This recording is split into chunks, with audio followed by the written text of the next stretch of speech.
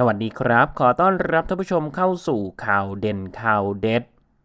เปิดใจสาวผู้ดูแลเจ้ากู๊ดลูกแมวน้อย หลังหนูผีสุดโหดลากลงท่อเกือบไม่รอด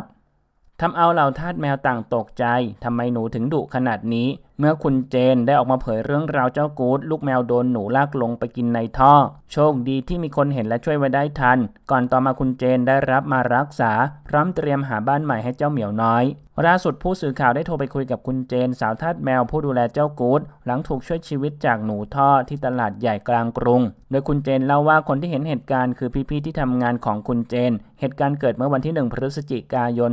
2566 ที่ผ่านมา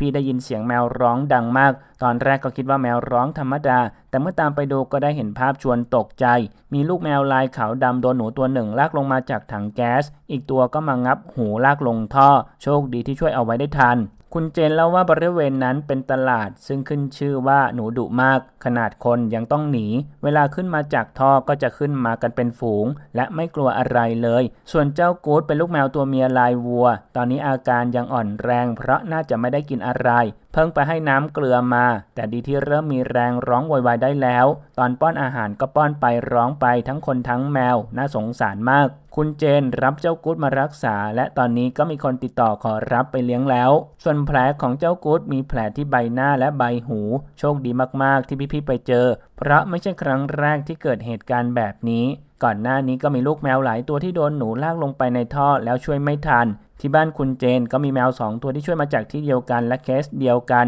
แต่ที่รับเลี้ยงเจ้ากุลไว้เองไม่ได้ เพราะโคต้าที่บ้านเต็มแล้ว ภาพในวันนั้นคุณเจนบอกว่าใจสั่นมาก พี่พี่ตะโกนเรียกคุณเจนบอกว่ามีลูกแมวโดนหนูลากลงท่อ จากนั้นคุณเจนก็รีบไปดูก็ใจสั่น เห็นสภาพมีแต่แผลกับเลือด ตอนนี้คุณหมอบอกว่ายังไม่มีอะไรมาก รอดูอาการต่อไปว่ายังต้องให้น้ำเกลือหรือไม่ บริเวณที่เกิดเหตุเป็นตลาดรอบๆ นอก จึงไม่ค่อยมีใครดูแลเรื่องหนูเท่าไหร่นัก อยากให้มาจัดการเรื่องนี้อย่างจริงจัง เพราะหนูพวกนี้สร้างความเดือดร้อนให้กับคนด้วยไม่ใช่แค่แมว ส่วนทางด้านเจ้ากู๊ดตอนนี้คุณเจนก็ได้ดูแลเอาไว้เอง เมื่อวานก็พาไปทำงานด้วย เพราะน้องยังกินอาหารเองไม่ได้ ต้องคอยป้อน พี่ๆที่ทำงานก็แวะเวียนมาดู ถ้าเหลืออะไรก็พร้อมช่วยเหลือยังดีที่คนแถวนั้นเขารักแมว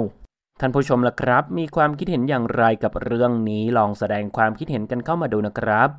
ขอขอบคุณข้อมูลจากไทยนิวส์ออนไลน์ ขอบคุณครับ